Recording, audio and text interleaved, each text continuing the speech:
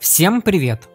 Не стоит бояться своих врагов, а нужно быть внимательней с друзьями, которые во всем мстят и пытаются угодить вам. Очень часто случается так, что долгое время, общаясь с человеком, доверяешь ему во всем, а в итоге именно от него начинаются все неприятности. Чтобы этого не произошло, необходимо научиться выявлять недоброжелателей в своем кругу общения.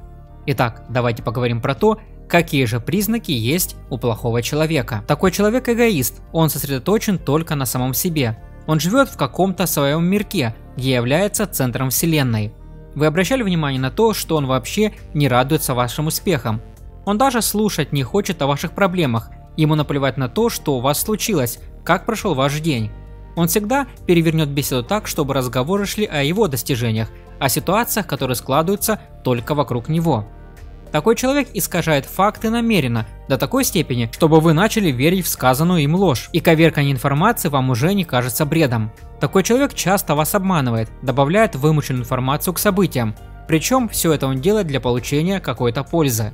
Такой человек очень часто не договаривает вам о чем-то. Если же правда вскрывается, он придумает какие-нибудь отговорки. Допустим, забыл или не подумал, что это для тебя важно. Он никогда не рассказывает всей правды, если ее не получается исказить. Такой человек настраивает других людей против вас. Он делает так, чтобы окружающие узнали о ваших секретах, о ваших, возможно, нехороших поступках и подбивает всех вас критиковать, конечно же, участвуя во всем этом. Такой человек любит приукрашивать факты.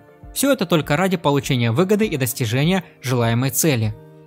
У такого человека нет ни грамма совести, он лишен страха, эмпатии, без раздумий нарушает нормы и даже законы. Он манипулятор, хладнокровный, грубый и никому не удастся его перевоспитать.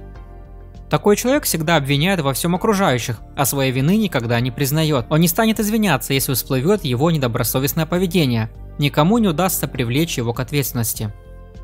Такой человек манипулирует людьми. В зависимости от ситуации, он надевает ту или иную маску, и очень сложно увидеть его истинное лицо. Он все переворачивает таким образом, чтобы вы делали то, что он хочет, думали так, как он хочет – он навязывает свое мнение, уговаривает вас пойти туда, куда вы не планировали. Такой человек вам не поможет. Именно в те моменты, когда вам нужен совет или его рука помощи, он сливается и исчезает, придумывая свои срочные дела. На самом деле ему все равно на ваши проблемы, ему даже нравится, когда у вас их очень много. Одно, в чем он может вам помочь, это уйти еще глубже, на самое дно. Ваши удачи и победы для него словно красная тряпка для быка. Очень часто именно такие люди становятся причиной всех наших бед. Такой человек хочет контролировать все вокруг и всех, все ситуации, которые происходят. И вас тоже это касается. Ему нужно вас контролировать, чтобы ощущать превосходство над вами, чтобы быть выше вас, лучше и главнее. Для этого он будет применять разнообразные способы. К примеру, он вас заставляет сомневаться в своих словах, в том, что вы видели в ваших моральных устоях и так далее.